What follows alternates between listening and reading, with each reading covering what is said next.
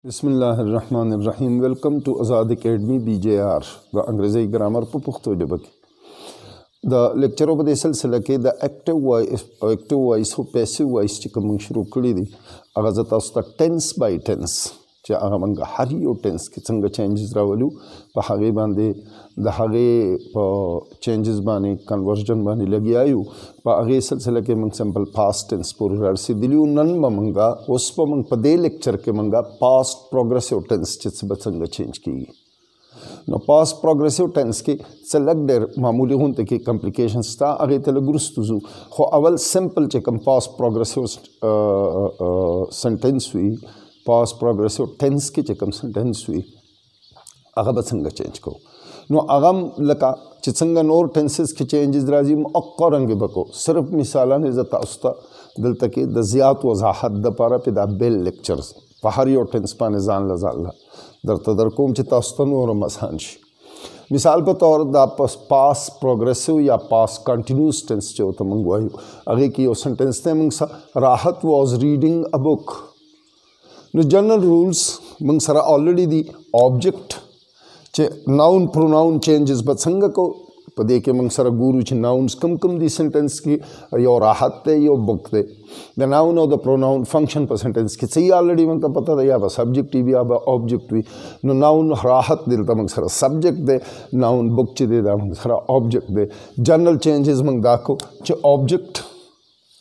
سبجیکټ ته راځي سبجیکټ د آبجیکټ ځای ته ځي یعنی دوی په خپل منځ کې ځایونه بدلوي سنټنس کې چې دوی کوم پوزیشنز دي سره په پوزیشن یې چینج او د هغه پوزیشن سره د دوی فارم هم بیا د هغه پوزیشن مطابق شي نو یعنی جنرال د ناونو د پروناون دی چې سبجیکټ موږ آبجیکټ ته بدلو آبجیکټ سبجیکټ ته راوړو دا موږ راوړل دلته کې آبجیکټ چې کوم دی نو موږ سره بوک دی نو موږ راوړ ا بوک د سبجیکټ ځای ته راحت موږ سره آبجیکټ دی نو دا موږ راوړ د آبجیکټ ځای ته د آبجیکټ په ځای باندې مو لګاو بیا دې پسې فورا وروسته موږ سره راځي د ورب چینجز چې ورب کې څنګه چینجز کو هغې دپاره جنرل روز بار بار په هر یو لیکچر کې زه تاسو ته وایم چې هغه بي پلس پاس پارټیسپل فارم اف دی ورب او بی ورب چې کوم دی نو دا به د څه په مطابقي دا به د ټنس په مطابق د هغه فارم چې کوم دی چونکه د مین ورب خو موږ سره په پیسې وایس کې ترو اوټ پاس پارټیسیپل فارم استعمالیږي نو لہذا موږ به ټنس په څه شو کو ټنس موږ بیا په دغه بی ورب چې کوم د پیسو کې د مین ورب نه مخکې لګو په هغه باندې یعنی د بی ورب هغه فارم وی کم فارم چې د ورب په هغه ټنس کې پکاري هغه متعلقه فارم نو هغه په پاس پروګرسیو ټنس کې چونکه موږ څه استعمالو د ورب کم فارم لګو پریزنت پارټیسیپل فارم یا موږ ته آی ان جی فارم هم وایو په پروګرسیو ټنس کې موږ د ورب پریزنت پارټیسیپل یا آی ان جی فارم متوایو یعنی د ور د به سوري معافي غواړم د ورب د یعنی د بیس فارم په اخیره کې آی ان جی لګاو پریزنت پارټیسیپل فارم جوړیږي نو موږ به د بی ورب چې دا دلته کم بی ورب د مین ورب نه مخکې لګو د هغې به موږ پریزنت پارټیسیپل فارم استعمالو او هغه په د په د بی وربس موږ سره چونکی څلور دي صرف ام از ار او بی اوس د ام د ام د از د ار او بی چې دا کوم بی وربس دي د دې د ټولو پریزنټ پارټیسیپل فارم دی بینګ یعنی د بی په اخیره کې موږ آی ان جی لګو او د امم مطلب دی بی د ازم مطلب دی بی د آرم مطلب دی بی نو دا الته کې بس صرف د دې د ټولو پرزنټ بینګ د ایم پرزنټ پارټیسیپل فارم بینګ دی د ازم پرزنټ پارټیسیپل فارم بینګ دی د آرم پرزنټ پارټیسیپل فارم بینګ دی او د بی خدای دی نو لہذا موږ سره به اوس دغه کم جوړ شي چونکه وا دلته کې دا بی ورب چې کم دی دا خود د پاس پروګرسیو ټینس هغه خپل بی ورب دی هغه خپل بی ورب دی چې مونږ دلته لګو دا بینګ چې کوم دی دا هغه پیسې والا چې کوم دغه دی بی ورب دی چې بی پلس پاس پارټیسیپل فارم چې مونږ پیسې ته وربړو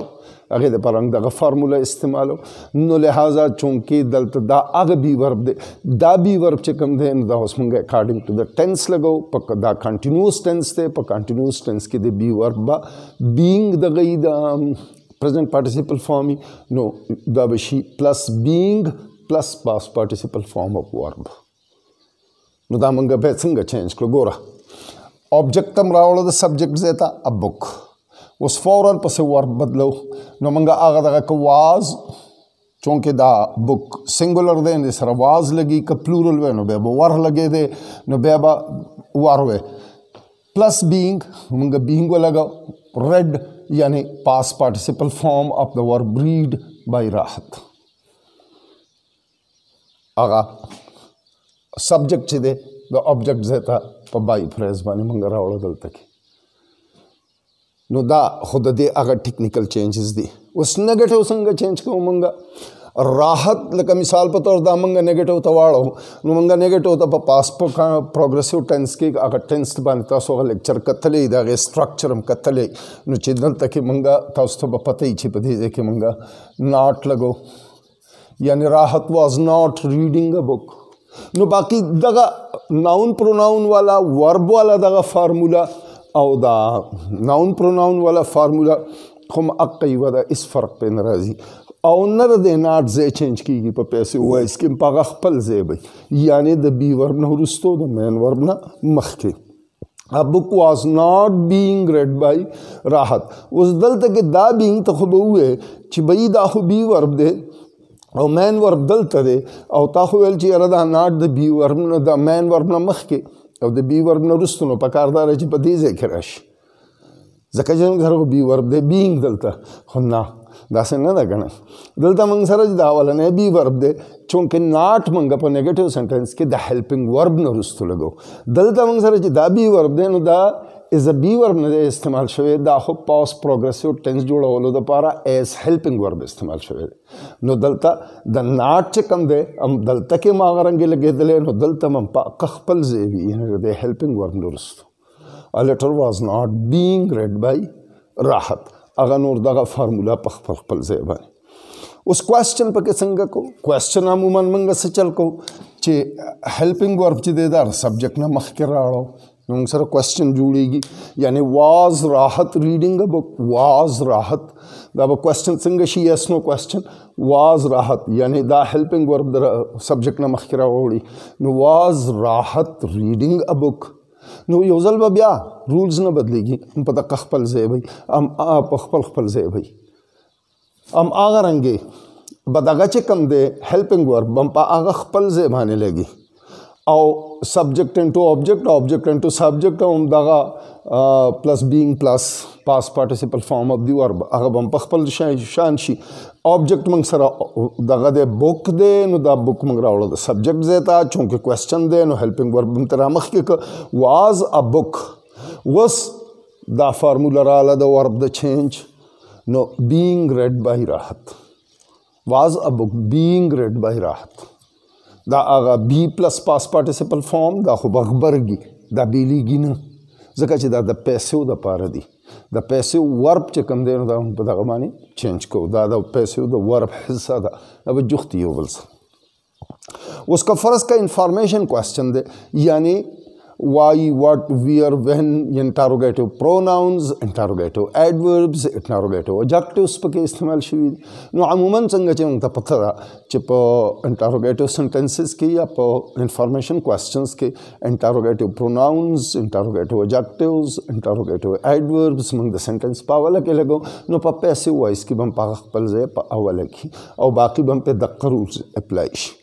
مثال په تور باندې دا سنټنس ز چینج کوم دغه تا واټ واز راحت ریډینګ یعنی دا آبجیکټ معلوم نه دی آبجیکټ معلومو هغه د لپاره کوېسچن کوم واټ واز راحت ریډینګ نو اوس واټ چې کوم دی دا په خپل ځای دا انټروګیټیو پروناون دی نو دا په خپل ځای واټ او ورپسې هم آغا واضح ور پلس بینګ پلس پاس پارټیسیپل فارم اف ورب واټ واز بینګ ریډ بای راحت آسان هیڅ مشکلات نشته مثال په تور باندې سبجیکټ معلوم نه دی زه سبجیکټ معلومو کوېشن دی هو واز ریډینګ ا بک هو واز ریډینګ ا بک وس هو انټروګیټیو پروناون ما استعمال زکه چې سبجیکټ معلومو نو لہذا په دې کې اټ مینز چې سبجیکټ خو نه معلومه ده سبجیکټ خو هغه اډوشته نه ابجیکټ به راشي خپل ځای له انټاروګیټیو پروناون هو چې کوم دی هغه په خپل ځای باندې چې کوم د انټاروګیټیو سنټنسز یا د کوېسچن کې د هغې خپل ځای دی یعنې د سنټنس په اول سر کې به ولګي هو واز د بک اوس د سبجیکټ ځای دلته په دې سنټنس کې دا ځای جوړیږي دلته به موږ آبجیکټ آلریډي موږ ته معلوم دی هو واز ریډینګ ا بوک هغه بوک دی نو هغه موږ راوړو هو واز د بوک بینګ ریډ بای بینګ ریډ هم هغه بینګ پلس پاس پارټیسیپل فارم اف دی ورک او بای اوس دلته کې بای منګه زکو لگاو چې سبجیکټ خو موږ سره شته نه چې د آبجیکټ ځای له راوړو او د آبجیکټ سره خو موږ بای فریز دی ته موږ زکو وایو چې بای پلس سبجیکټ د آبجیکټ ځای له راوړو خو ورسره بای لګو اوس سبجیکټ خو معلوم نه دی نو بای به خامخا لګي دا پریپوزیشن ضروری دی دلته کې هو واز د بوک بینګ ریډ بای اگر سبجیکټ کوي به هم لګولای او سبجیکټ شته نه او خو معلومه ول غواړو نو لہذا دا بای به تی وی خامخا ضروری دی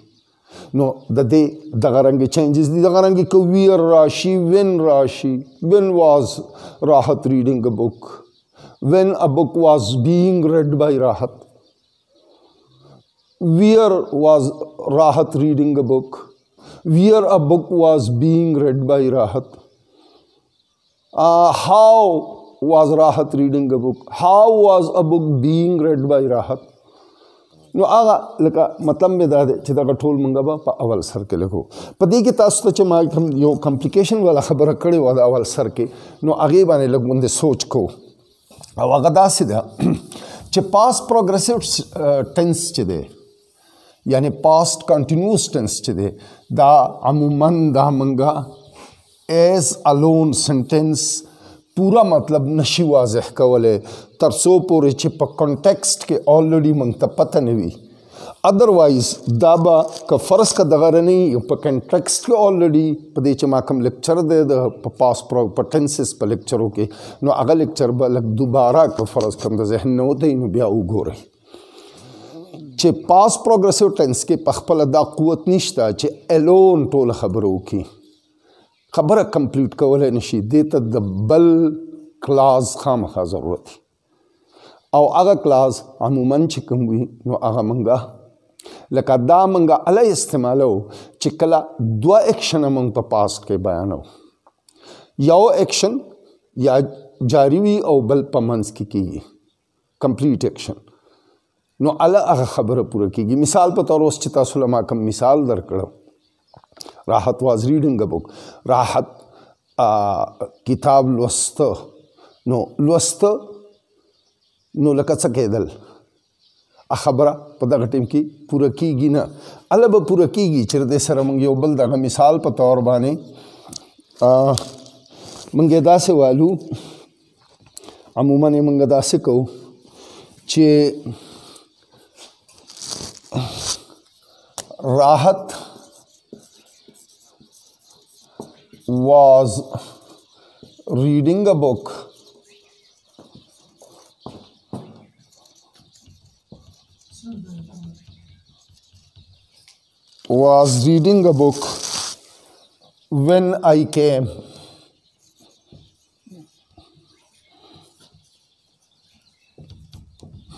دې کې دوه کلاس رااله ده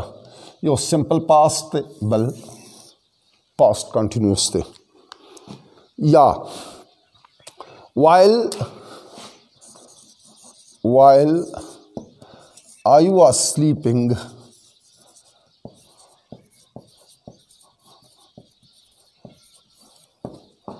راحت واز ریډنګ ا بک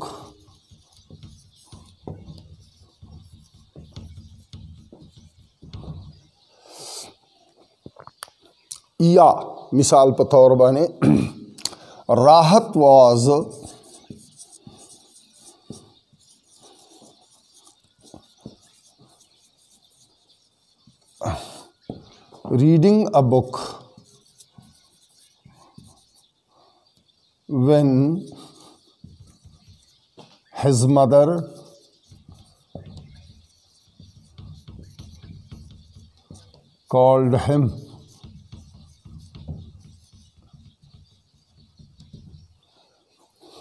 اوس دې کې په دې کې نور څه فرق نشته چونکه دا بل کلاس دا چې دویم اکشن بیانې دا موږ سره په سمپل پاست کې وي نو سمپل پاست څنګه چینج کیږي هغه باندې لیکچر شته موجود دی او تاسو ته پته ده کنه نو هغه لیکچر په وګورئ چې سمپل پاست په څنګه چینج کو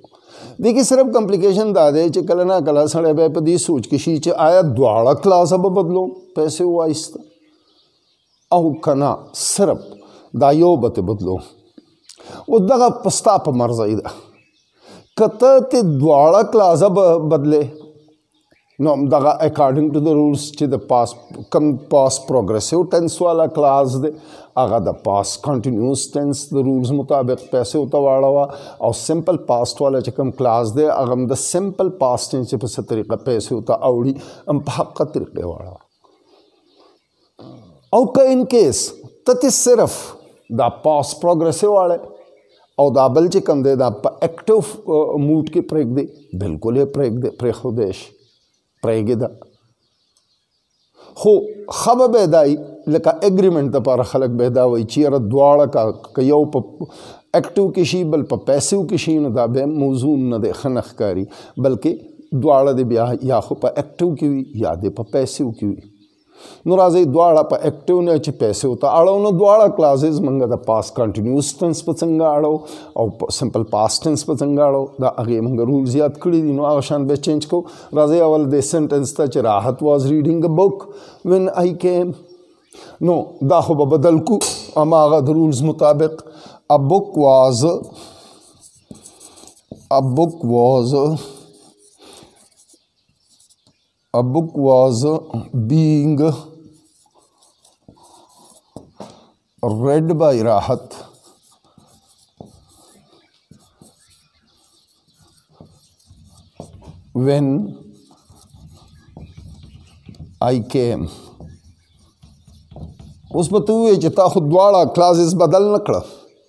وینای کې هم خو په اکټیو کې د پرې خو دلته په اکټیو کې دلته اول زکا چې هغه رول وتا است یادې چې کف هغه ور بنګ پیسې تاړول شو چې کم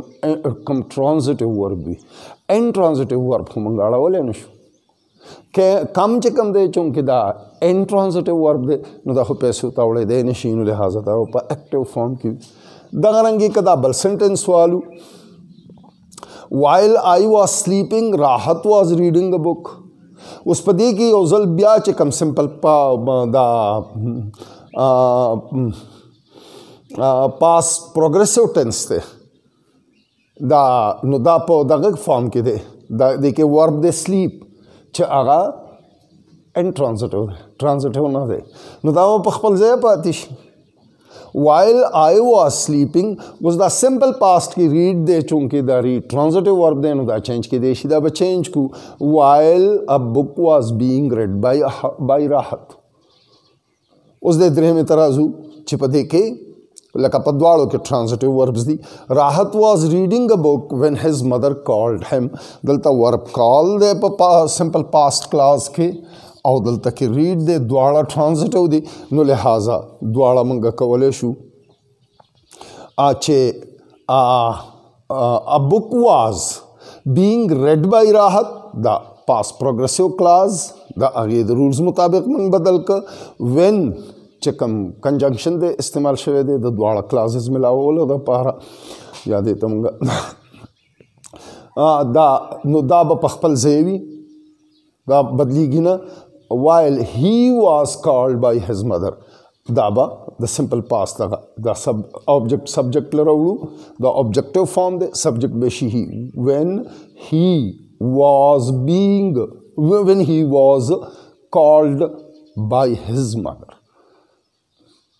نو دواړه به چینج شي او دواړه کلازز چې کوم دي نو دا به ټیک وي دغه رنګې به په پاس پرفیکټ کې هم راځي دغه رنګې په نور سنټنسز کې هم راتلی شي لکه مونږه دواړه کلازز خو د هغې هغه چې کوم یو ټنس په کلاس کې ته به ګورې مثال په طور کمپلیکس سنټنس دی یا مثال په طور باندې کمپاوند سنټنس دی یا کمپلیکس سنټنس دی